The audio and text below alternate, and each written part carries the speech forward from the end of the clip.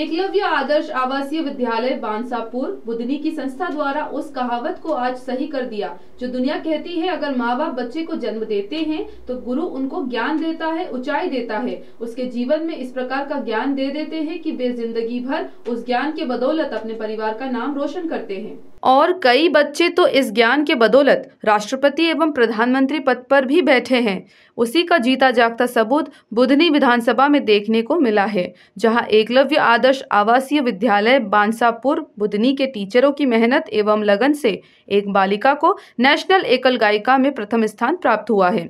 आज इस बालिका का एक ही कहना है कि आज मैं जिस मुकाम पर खड़ी हूँ, इसका पूरा श्रेय स्कूल टीचरों को जाता है, क्योंकि मैं तो एक गाँव से आई कोई बालिका हूँ और एक कार्यक्रम में मैंने एकल गीत गाया था, जिसके बाद गुरुजनों ने मुझसे कहा कि आपकी आवाज़ बहुत अच्छी है, आप प्रैक्टिस कीजिए, जो भी संगीत के लिए उपकरण लगेंगे हम उसकी व्यवस्था करवाएँगे। गुरुजनों के सहयोग और बच्ची की मेहनत से आज यह फल प्राप्त हुआ कि वह बालिका ने एकल संगीत में नेशनल में प्रथम स्थान प्राप्त कर अपने माता पिता एवं गुरुजनों का नाम रोशन करने में कामयाबी प्राप्त की है। जैसे कई बच्चे इस संस्था में हैं जो नेशनल लेवल तक पहुँच रहे हैं।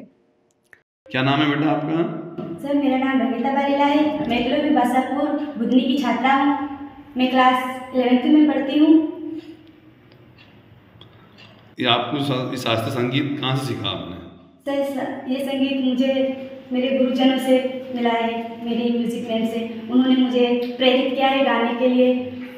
जब इस संस्था में मैं आई तभी से मुझे लगा कि मैं भी कुछ मतलब गाने में कुछ क्षेत्र हासिल कर सकती हूँ और सर से भी मुझे प्रेरणा मिली। इससे आपको पहले मुझे पता था कि मेरी आवाज़ इतनी अच्छी है। फिर जब टीचर मुझे मिले तो पता चला उन्होंने बताया कि आप बहुत अच्छा गाते हो आपको गाना चाहिए इस क्षेत्र में आगे बढ़ना चाहिए। और उन्होंने बहुत ज़्यादा प्रयास किया। इससे आपको कुछ लाभ मिला इससे संगीत से? हमें इससे बहुत ज़्यादा लाभ मिला। सर इसी माध्यम से हम नेशनल में प्रथम आए थे एकल गायन में और बहुत ज़्यादा हमें इससे खुशी हुई है सर। इसका श्रेय किसको देंगे आप? पूरे यानी कि संगीत का श्रेय किसके देंगे आप? सर पूरी संस्था को नसरुल्लागंज से आनंद अग्रवाल की रिपोर्ट।